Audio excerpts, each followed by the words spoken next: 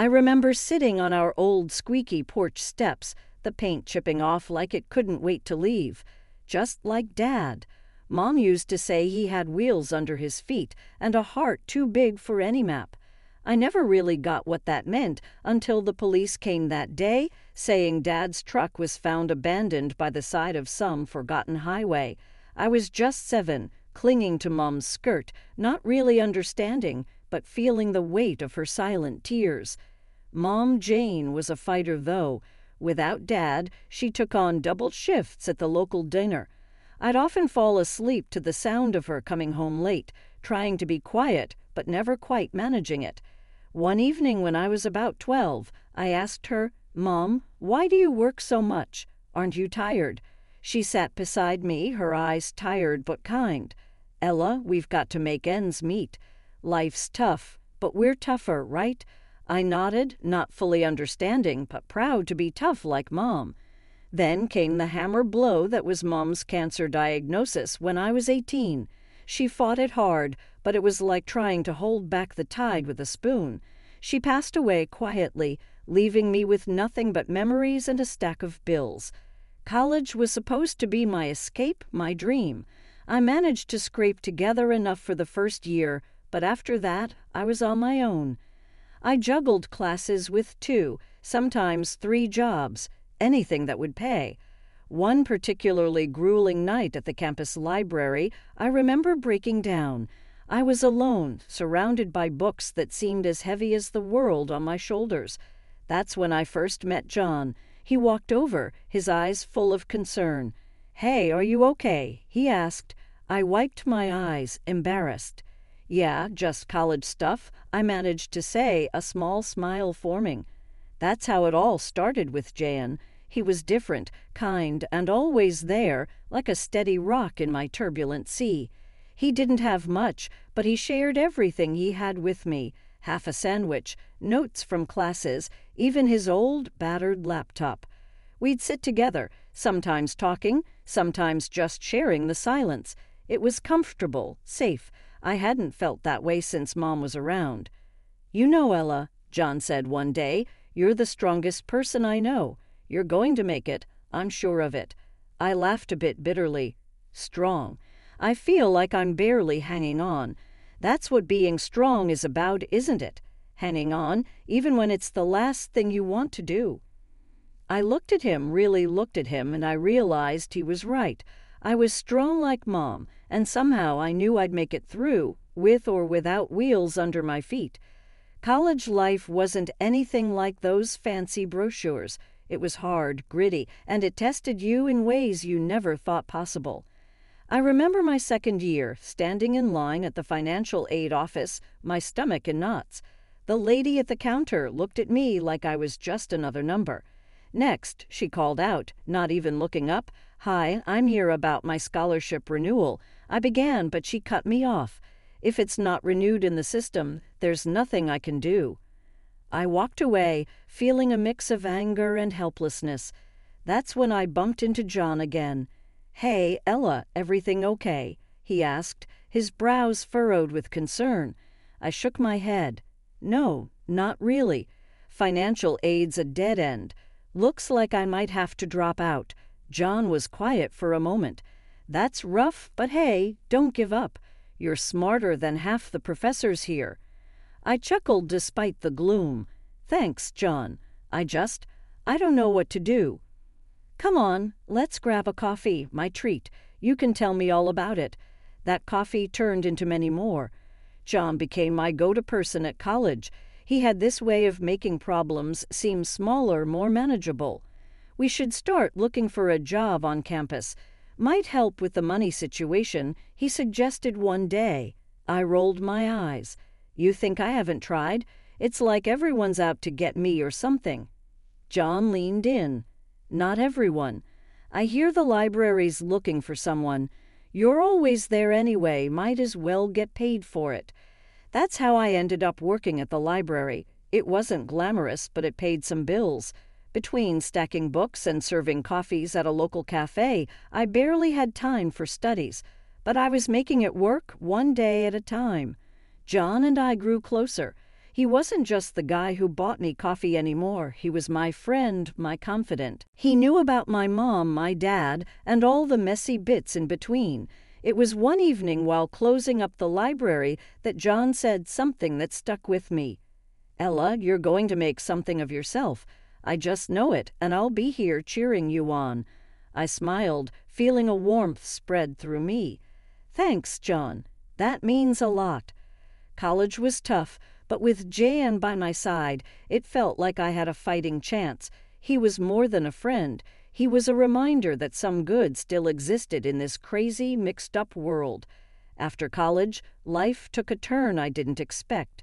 John and I got married. It wasn't some big fairy tale wedding, just a small courthouse due with a few friends and less fanfare.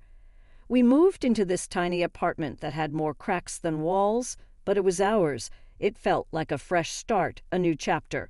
Then came the problem. John's mom, Mrs. Smith, the woman was a piece of work. The first time she visited our place, her nose wrinkled like she'd walked into a dumpster. This is where you live, she said, her voice dripping with something that was half disbelief, half disgust. I tried to smile. Yeah, it's not much, but we're happy. She snorted. Happy? John, you can do better than this. And what about kids? You can't raise kids in this. John cut in, trying to ease the tension. Mom, we've talked about this. We're not rushing into kids. We're focusing on our careers right now.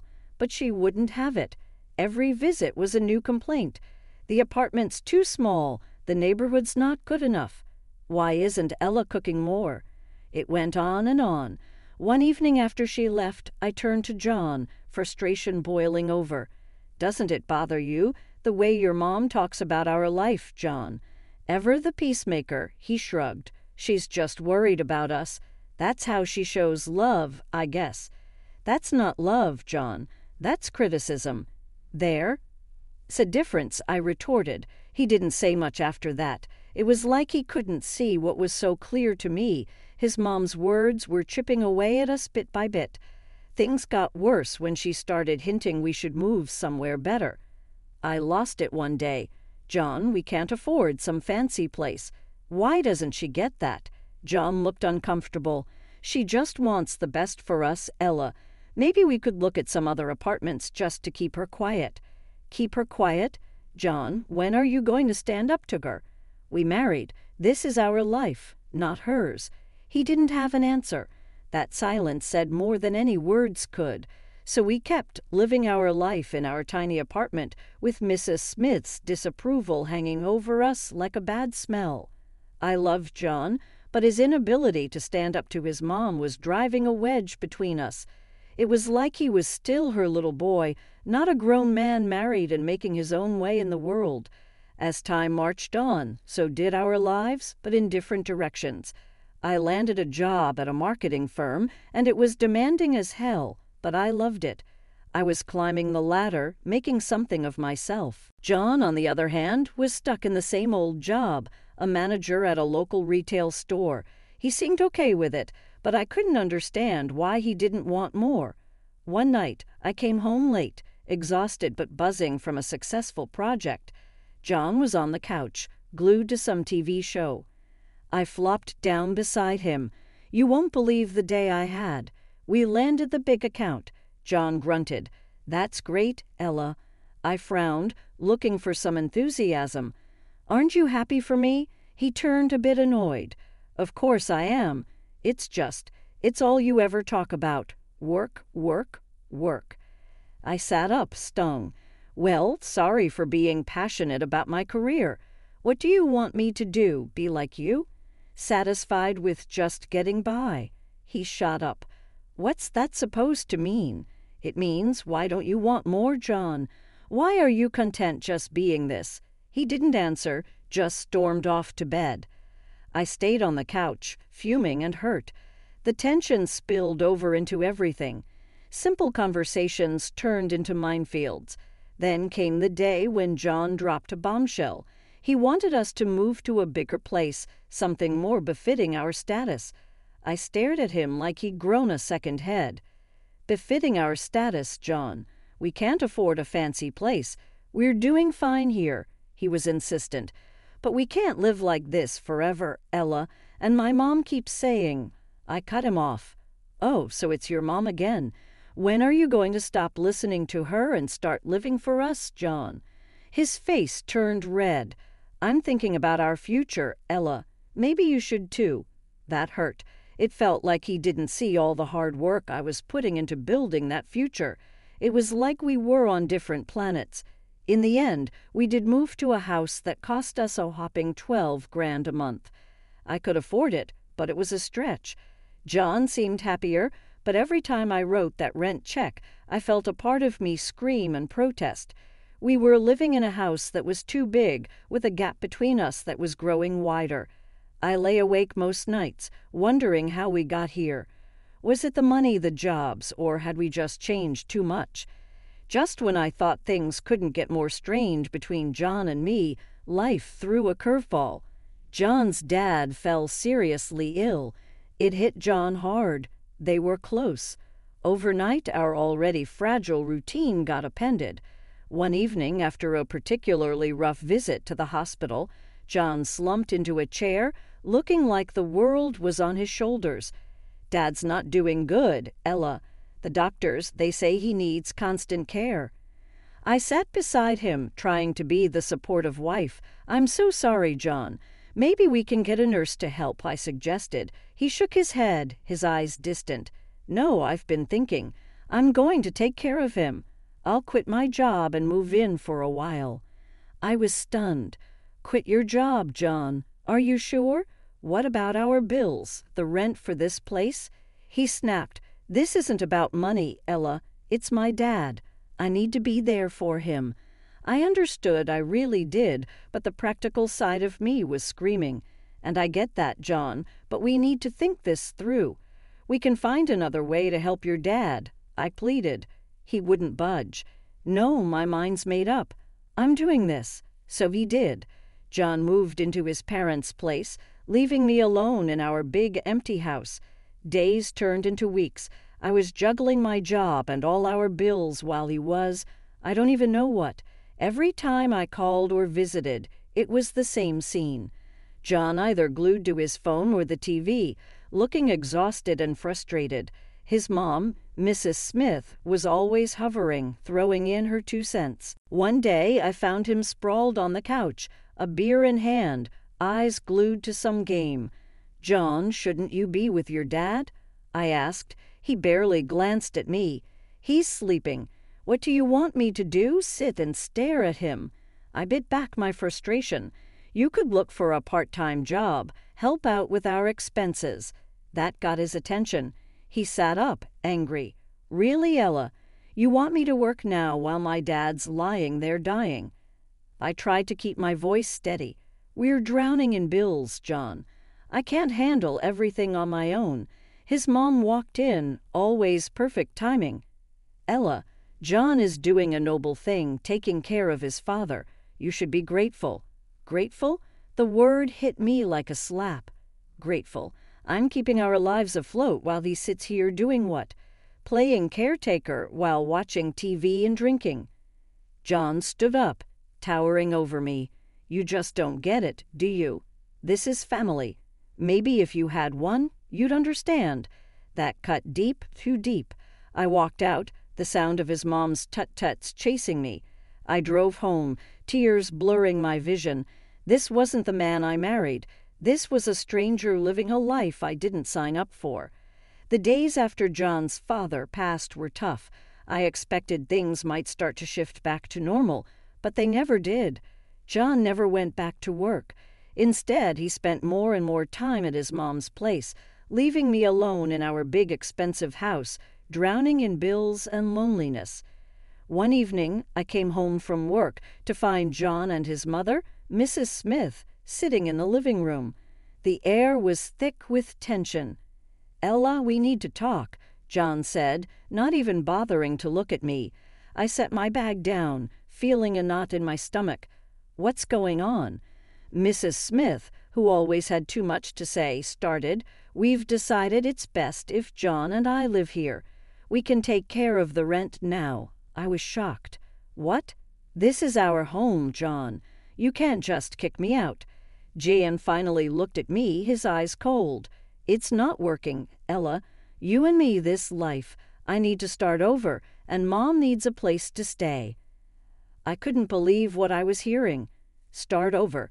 So you're just going to throw away our marriage just like that? He shrugged. It's been over for a while, hasn't it? We're just making it official now. I turned to his mother. And you, you think you can just come in here and take over my life? Mrs. Smith stood up, her voice sharp. It's for the best, Ella. You and John were never a good match. He needs to be with family now. I was seething. Family? What about me? I'm his wife. John stood up, facing me. Not any more. We want you out, Ella. The sooner, the better. I looked between them, the betrayal cutting deep. Fine, I'll go. But don't think for a second that this is okay. You're both making a huge mistake. I packed a bag with my essentials, my hands shaking with rage and hurt as I walked out the door. John's voice followed me. We're doing what needs to be done. Ella, you'll see. This is for the best. Settling into my new modest apartment felt like a fresh start. It was small, but it was a place where I could finally breathe, away from the stifling atmosphere of my past life with John and his overbearing mother. The walls were bare and the furniture was minimal, a stark contrast to the lavishness I'd left behind. As I was arranging my few belongings, my phone buzzed. It was a message from an old mutual friend of John and me. Hey, Ella, have you heard about John and his mom? They're living it up. Expensive clothes, fancy gadgets. Wonder where all that money is coming from. I stared at the screen, a mix of curiosity and bitterness swirling in me. Where were they getting the money? I thought back to the expensive house, the bills, and the lifestyle they had insisted on. It didn't add up. Shaking my head, I typed a quick reply No idea, Laura. Good for them. I guess, but the question nagged at me. I couldn't help but wonder how they were affording such extravagance, especially after kicking me out and with John not working. A few days later, I ran into another friend, Mike, at the grocery store. Ella, you won't believe it. I saw John and his mom at the high end electronics store. They were buying like there's no tomorrow. Heard they even sold their family home. Crazy, huh? I forced a smile. Yeah, crazy but inside my mind was racing. They sold the family home. Was that where the money was coming from? As I unpacked groceries in my kitchen, a small, unadorned space that was now my refuge, I couldn't shake the feeling of unease. I was moving on, building my life again from scratch, while they seemed to be living in a world of luxury built on lies and deceit. I sat down at my tiny dining table, a second hand purchase, and let out a long breath. It didn't matter, I told myself. I was out of that toxic environment, free from their twisted dynamics. But deep down, I knew the truth. It did bother me. It bothered me that they seemed to be thriving after throwing me to the curb. I had worked hard for everything I had, while they seemed to be enjoying a life of ease and comfort. As the evening wore on, I found solace in the quiet of my apartment. It was mine, earned through my own effort and resilience. I had lost much, but I had gained something more valuable my independence, my sense of self. For months into my new life, the past came knocking in a way I never expected. My phone rang one lazy Saturday morning, the caller ID flashing John's name. I hesitated, but answered. Ella, we need your help. John's voice was shaky, desperate. I sat up, alert. What's happened, John? It's all gone wrong. We got kicked out of the rental house. Mom and I, we have nowhere to go. I couldn't believe what I was hearing. Kicked out? But I thought you had money. There was a pause. The money's gone, Ella. Dad left debts, not inheritance. We thought. His voice trailed off. I felt a mix of emotions shock, disbelief, and a tinge of satisfaction. Were they really posh all this time, hoping for a rich inheritance? Seriously, it was too much, even for my ex husband. So, what do you want from me, John? We were wondering if maybe we could stay with you, just for a while, until we sort things out. I laughed, a short, bitter sound. You want to stay with me after everything. John's voice was pleading now. Please, Ella, we have nowhere else to go. Remember the good times. Can't we just? I cut him off. Good times, John. You and your mother threw me out of my own home. You can't just come crawling back now that things are tough. He was silent for a moment. I know I messed up. Ella, I'm sorry. We're just really desperate. I took a deep breath, my decision clear. John, I've moved on. I've built a new life, and there's no place for you or your mother in it. You need to figure this out on your own. But, Ella, no, John, it's over. You made your choice, now live with it. I hung up, my heart pounding. I felt a surge of empowerment mixed with a twinge of sadness. John, the man I once loved, was now just a voice on the other end of the phone, a reminder of a life I had left behind. Later, Laura called me. I heard about John and his mom. Are you okay? I smiled, feeling a sense of peace. Yeah, I'm more than okay. I'm free, Laura, truly free. As I ended the call, I looked around my small apartment, my sanctuary. It was a far cry from the life I had with John, but it was real, it was mine. I had faced the worst and come out stronger. That night I realized that this was my new beginning, a life where I was in control, where my happiness didn't depend on someone else. I had lost much, but in the process I had found myself.